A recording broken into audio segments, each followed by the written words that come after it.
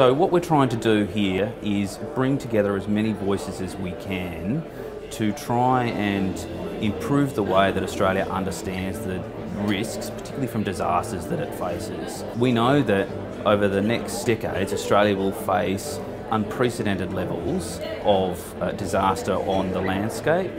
And as a consequence, it's about time that governments and all other sectors did their best to try and address that.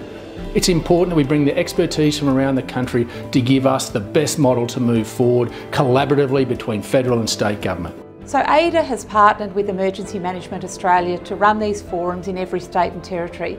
It's important because AIDR is able to bring together a whole range of stakeholders across a range of sectors to have the conversation around disaster risk and to develop a shared understanding. In essence, it's, it's about helping people understand that disasters um, are not predominantly because of a natural hazard. It's very much about the decisions that we make as a society that lead to people being either in the, the wrong place or having the wrong building or an economic activity being undertaken in, in a way that actually makes it vulnerable to disruption from a natural hazard. Just having a conversation with and amongst other sectors helps you identify what you can do and gives you that hopefulness. And that's what today is about as well, I think, giving people that balance between we recognise we've got some serious challenges but guess what? Look what we can do if we do it together. The impacts of a changing climate will bring more unexpected events across many of our communities. These events will continue to impact the livelihoods of Australians. The response to the forum was, was really, really good. We had a diverse range of participants that we hear. Everybody had a chance to have a really good discussion and I think people left with something that they could do differently um, and with enthusiasm to be able to do that.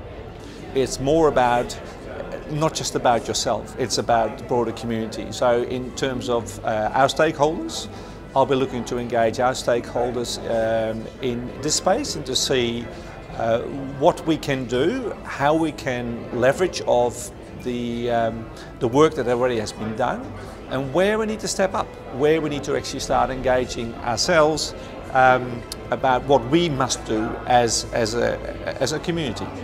Um, we work in a highly political environment where there's always a great imperative to focus just on the here and the now. But you know, I think this, these forums have been a great reminder about how we do need to push through and really try to take a, a longer term perspective if we want to make a difference to communities. It's given us a narrative for us to bring our conversations into rather than us all having these separate conversations about what we think it should be or what it looks like. And whether you agree or disagree isn't actually the point.